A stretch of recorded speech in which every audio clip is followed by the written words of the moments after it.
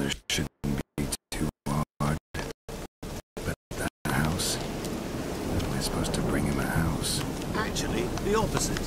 I wouldn't worry about the house. The brother will be the tough bit.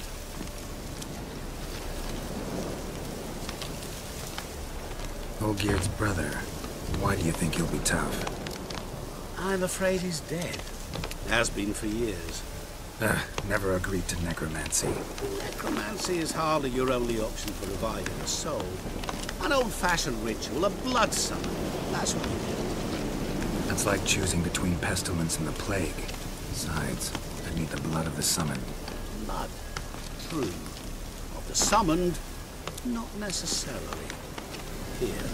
Where do you get this? Geralt, Geralt, Geralt, aren't you the curious one? Assume it to be Von Everec blood. Hmm. Where'll I find this Vlodimir? Geralt, I cannot do everything for you. Use your head. The Von Everecs are well known in these parts. You must have met someone who's heard of the family. The charming redhead, for instance. The medic. You know the one. Borsodi's house. No idea how I'm supposed to bring him that. Hmm. The only Borsodi I know of around here runs an auction house in Oxenfurt. Heard of it. My swords almost got auctioned off there once. Auction was held in Novigrad, though it was a while past. They must have relocated. You just might get an opportunity to ask them why. Fine, I'll go there. Then what? How should I know?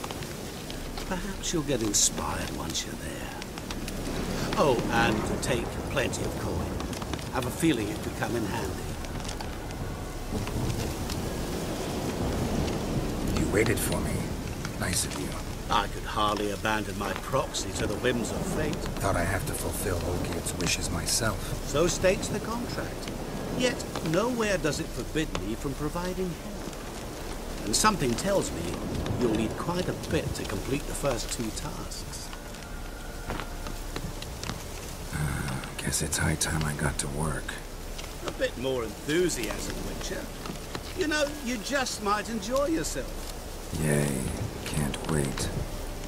Say I need help. Where'll I find you? I shall find you. Good luck, Geralt.